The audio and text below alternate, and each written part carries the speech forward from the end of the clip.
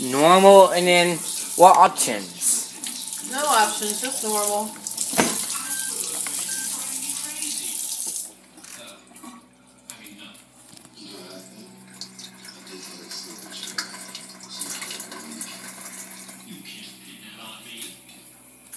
Gentlemen, if you'll excuse me?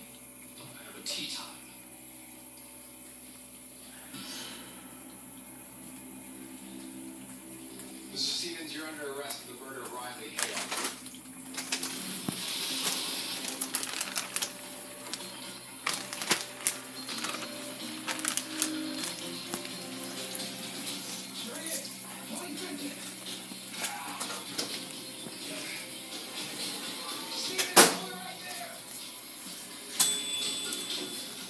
Alright. There